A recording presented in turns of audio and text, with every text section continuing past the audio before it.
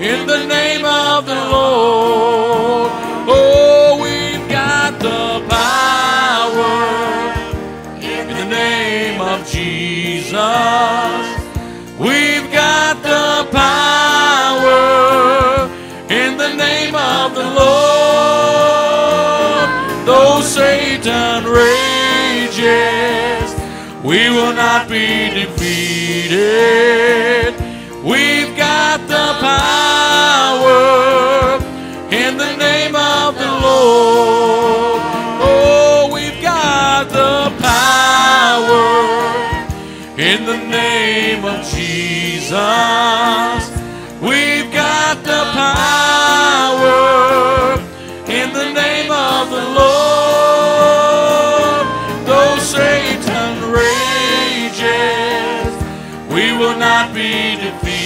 Jesus.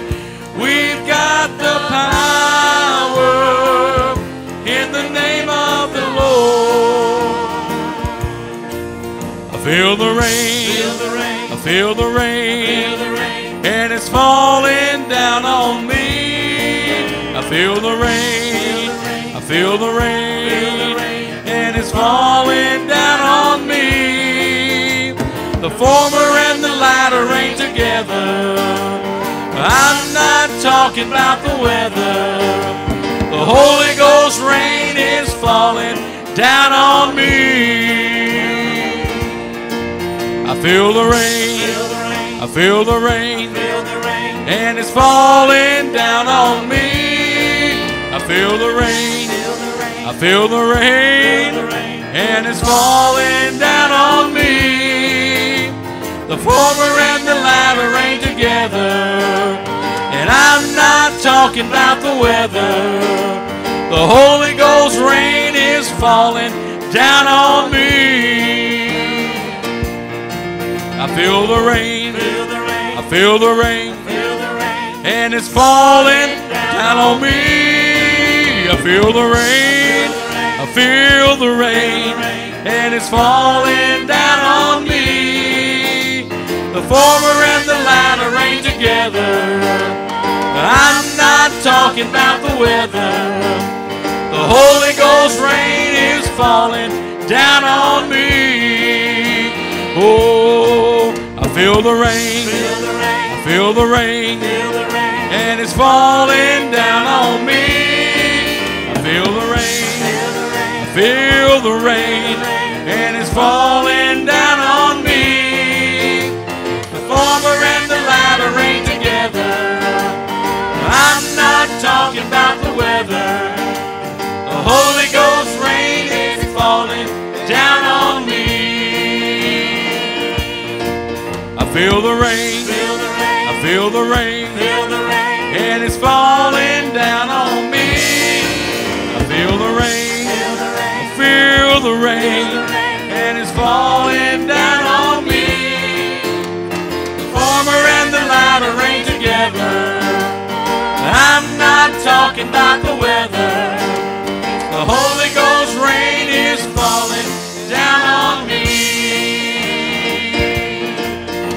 The Holy Ghost rain is falling down on me.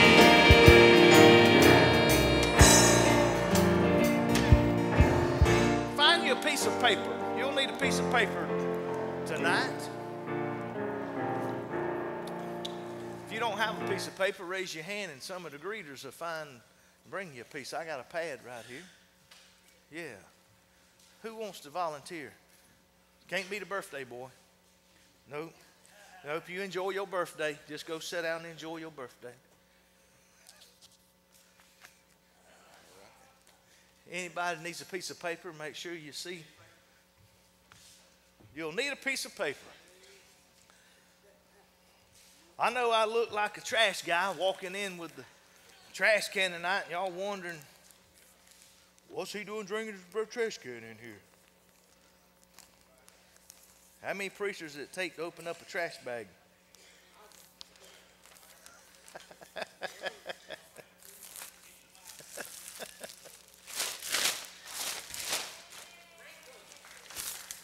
I look better like this? Yeah. I, I'm sure I do, but I can't stay that way. Whew. Man.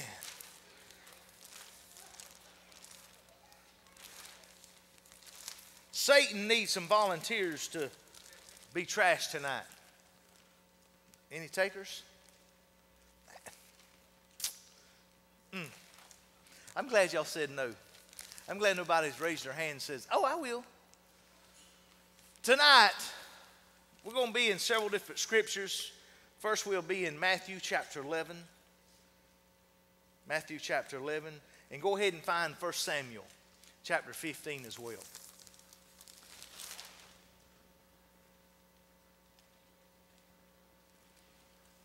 Wonder what this trash bag is for. Some of you probably already know, probably have heard this sermon before. It's been a long, long time. But tonight, we talked about separation, separating ourselves from people and things in our life. And, and we got separated from that. And we saw that when Noah was in the ark and Noah was separated from all the evil of the world and God I mean that ain't that wonderful that God loves us enough that he's willing to separate us and to keep us in a distance from all that evil in our lives? But tonight we got separated but we're going to get rid of the garbage. We're going to get rid of the garbage. Get rid of the garbage. Well I ain't got no garbage in my life. This is what we do through life is we tote our garbage bag and we carry it with us wherever we go. We carry it with us wherever we go. Father, tonight, I just want you to take this message, this word, dear Father, and I want it to minister. I want it to, dear Father, have such an impact and meaning in our life. Dear God, that we will really let it minister. And we love you. And amen and amen. You know, as you, I want you to go back in time to when you was a, a young, like 13 year old, 12, 13, 14 year old. Some of you, some of you still act that way, even though that you're 69 and 70 and 80, you still act like you're 13. But you know, there was a lot of things. There was a lot of things, a lot of different things growing up that you just hated to hear. You know, you hear that, go clean up your room, go wash the car, go pay the light bill. but at age 12 and 13, they was some, I, I mean, they was some nasty, nasty words that my mom and daddy used. They talked filthy. Go, they would say, son, go take out the garbage. Go take out the garbage. I did. Y'all, how many just love to wake up in the morning time and go take out the garbage? Deborah Sue does. My gracious. Well, maybe Deborah Sue, you need to do some training tonight. But they go take out the garbage. Those words, go take out the garbage. Go take out the garbage. Yes, ma'am. Yes, sir. I'll do it. And the next day, you still saying, go take out the garbage. Go take out the garbage. But those words go take out the garbage. I want that to ring in your ears tonight, and I want you to actually, really and truly take out the garbage. Let's carry the garbage and get rid of it. You know, there's a TV show called The Hoarders. Have you ever seen that? I mean, they pack rat, and they pack and they pack and they pack and they pack and they keep and they keep and they don't throw nothing away. If I throw, if I throw if I throw this empty cereal box away, I know 10,000 years from now I'm going to need it. You know what? Some of those people is right here in this building tonight. We all are like that to a certain degree with some things in our life that we just don't want to get rid of. We just don't want to get rid of. There's something in our life that we just don't want to get rid of. We're going to hang on to it. There's things that, that Satan puts in our in our life and, and we don't really and truly want to get rid of it. We hang on to it. We say, Lord, forgive me of it. I want you to take it away. But but then you keep it and you will not put it away. And tonight we're going to take out the garbage. Because when we clean out our closet, how many of you just love to clean out your closet? Oh, no, you open up the closet door and then blam, and you're laying on the floor and everything's on top of you. I know how you are. I know how you are. You, you don't clean. How many of you would, and we talked about this one time before too, is, you know, if I went to, how many in this room tonight that if I went to your house and moved your refrigerator,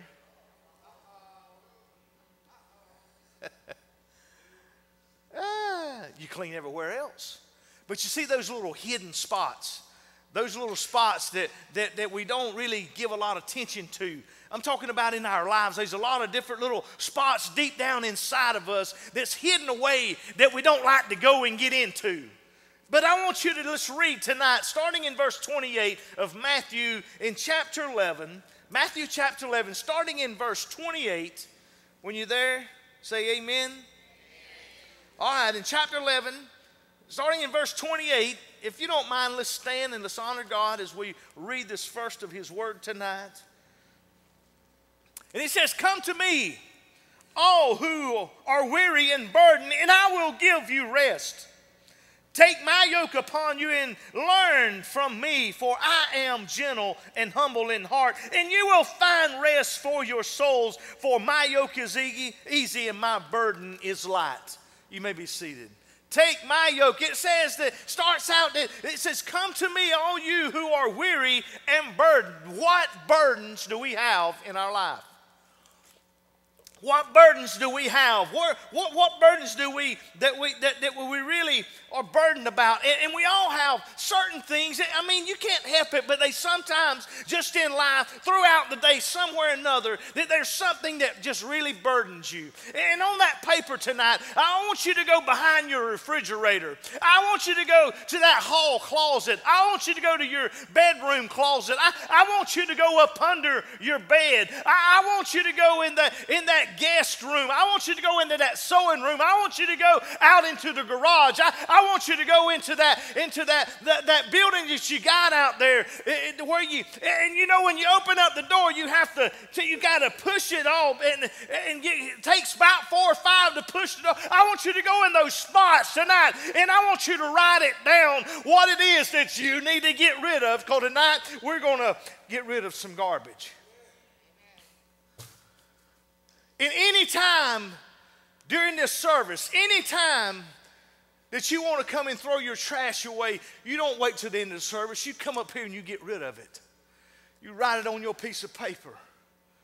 And if you don't have a pen and you don't have nothing to write with, you just hold that piece of paper and you just talk to God. And it's like God just writing it on that piece of paper and you still come and throw it away because God, tonight we're getting rid of garbage because He says all those that's who weary and burdened, all those things that's down in our life, all those things that keeps us in our, you know what, if there's something that's burdening you, it's stopping our relationship with God. And this is a time and a season that we gotta, we gotta go deep, deep, deep, deep, deep with God. We can't have anything. We can't have anything. I want to talk to the Christians just a second. It says 2 Corinthians 5 and 17.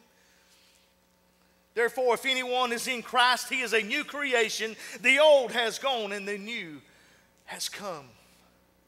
So when you when you accepted Jesus Christ as your Lord and Savior, every everything of that old, all the old thoughts, all the old ways, all you know, I mean, I, am just being honest. Uh, there's a lot of times that, that men folks that, that, that they come in to know Jesus Christ as Lord and Savior, and and they accept Him, but then but then out under the car seat or under the bed mattress, they you still got that magazine that's got them women that don't wear a lot of clothes. Every once in a while you might go pull it out.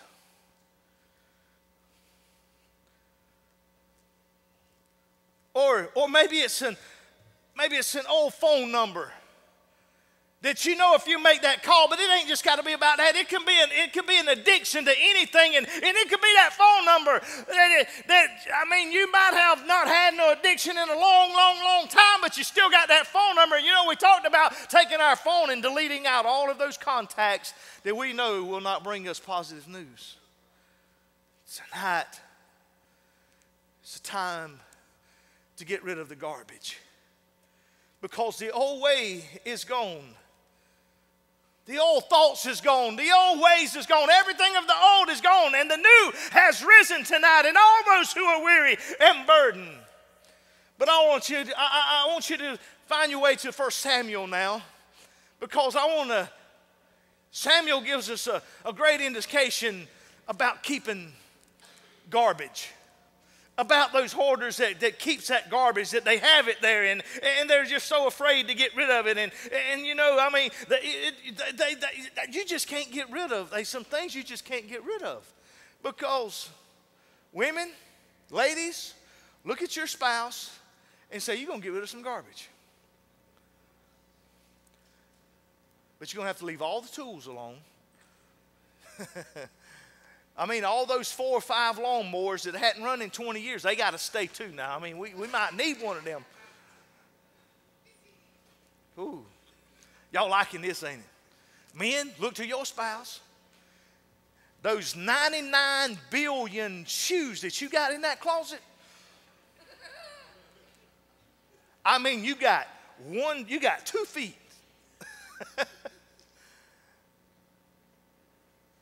As we look, there's things that we just want to hang on to, that we just want to hang on to. We just don't want to get rid of because you never know when you need to pull a rabbit out of the hat.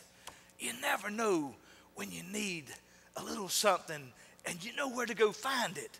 And you see, this is where Satan, Satan wants us to keep this in our thoughts. Satan wants us to keep this in our cross. Satan wants us to keep it because he knows that there's a time that whenever we get weak in our spirit, and, and, and, we get weak in our spirit that we're going to pull that old rabbit out of the hat because we know that it gave us a good feeling before. And, and we know that it worked for us before and said, oh man, I just want that feeling again. But, but listen, as we go and, and we read in 1 Samuel chapter 15, verses 7 through 11, and it says, Then Saul attacked the Amalekites. Now Samuel had went in and anointed Saul as king, and he was given a task. God had a task for Saul to do. And he said, Saul, I want you to go into the camp. I want you to go into the army. I want you to go into the village. I want you to go into the city. I want you to go in, into these people, the Amalekites, and I want you to wipe out every man, woman, and child, and beast and animal. I want you, you know what? If it's breathing, it's got a heartbeat, I want you to zap it. I want you to take it and kill it. I don't want nothing left. I want it zapped away. Leave nothing standing except the trees. If it breathes, I want it dead. And it says, and then Saul attacked the Amalekites all the way from uh, to Shur and near the eastern border of Egypt. He took Agag, uh, king of the Amalekites, alive. And all his people he de- totally destroyed with the sword. But Saul and the army spared Agag and the best of the sheep and cattle, the fatted calves and the lambs, everything that was uh, good. These were unwilling to destroy. These were, they were unwilling to destroy completely, but everything that was despised and weak, they totally destroyed. The word of the Lord came to Samuel I regret that I have made Saul king because he has turned away from me and has not carried out my instructions. Samuel was angry and he cried out to the Lord all that night.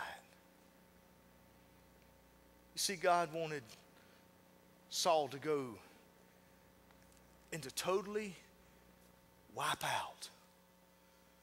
But Saul says, whoa, whoa, whoa, you know what? Hey, man, I can bargain. I can, I got a bargain. I, I got me, I got, hey, I got the king, I can, I got him captured. And, and you know what? I, I, hey, I got a, I got a bargain here. I, I can bargain with somebody. I, I, you know, I got, hey, I, they'll put up ransom for him. Now somebody can pay me.